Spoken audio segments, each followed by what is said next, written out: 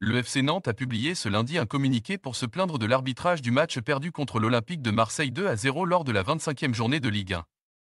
Les Canaries veulent des explications après deux situations litigieuses qui auraient dû, selon eux, leur valoir deux pénalties. Un doublé de Pierre-Emerick Aubameyang a permis de confirmer l'embellie marseillaise sous les ordres de Jean-Louis Gasset. Mais si le club phocéen a dominé Nantes 2 à 0 ce dimanche en clôture de la 25e journée de championnat, les Canaries ont pesté contre l'arbitrage. Après les coups de gueule de Valdemar Kita et Jocelyn Gourvenec en marge du match, le club nantais a dégainé ce lundi un communiqué pour pointer du doigt plusieurs décisions du VAR et de l'arbitre. Le Texier. À la suite de la rencontre de la 25e journée contre l'Olympique de Marseille et à de nouvelles erreurs d'arbitrage, le FC Nantes souhaite obtenir des explications claires de la direction de l'arbitrage. A indiqué Nantes dans un message diffusé sur son site.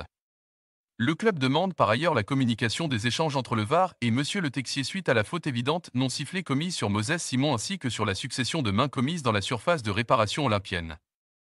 Avec cette troisième défaite lors des quatre dernières rencontres, Nantes a reculé à une dangereuse place de barragiste au classement.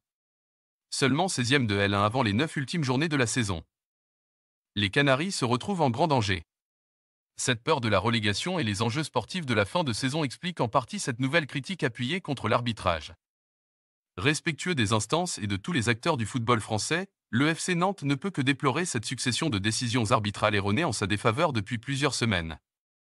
A encore assuré le club de Loire-Atlantique.